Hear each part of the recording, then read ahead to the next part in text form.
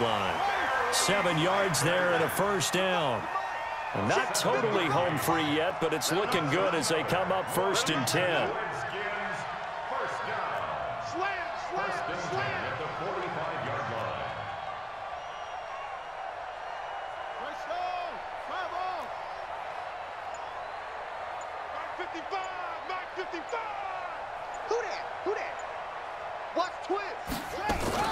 On first and 10, it's Sanders. As Sanders has it poked free, and it's picked up by the Steelers. And the possession is theirs at their own 43-yard line. Well, I'm guessing that on the sidelines there might be a few words said about that mistake there, but I don't think it's going to hurt them in the long run. They're still going to get out of here with a win. Yeah, they got the, the two-score cushion, but you know what coaches say, Charles? Finish strong. Finish the game out the way it's supposed to be played. In fact, coaches might be secretly happy. Gives him a chance to do a little extra coaching next week. And he's out of bounds just before the midfield stripe at the 49. Six yards was the pickup on the last completion, so here's second and four.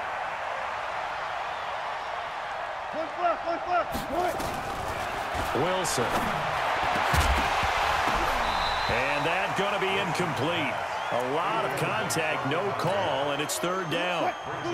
Now they face a third down and four after that incompletion on second down. Out of the gun, here's Wilson. He's going to let it fly. This is caught inside the 15. And he's in. Touchdown, Steelers. Herman Moore with his second touchdown of the night as his guys are back within a single score. So certainly some importance to this one now. After the touchdown, they could get this down to a field goal with a two-point conversion. Check, check, check, check. Wilson to throw. And he's got it. So the try for two successful. And with it, they're back within a field goal. So still a chance with just over 20 seconds to go, but they need to get this one back, no doubt. And this is going to be recovered by the hand team. And that should just about put a capper on this one. They had to go for it with no timeouts remaining, though, now. This one's as good as over. They gave it an effort. They tried their best, did everything they could to try and get the ball on the onside kick. You're exactly right. They had to try it. It was their only option. And now this game is done. Just take it, kneel, and call it a day.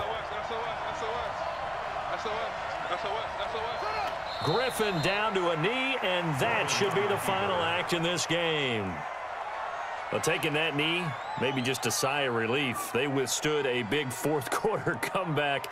Able to hold on, though. Certainly looked like they had things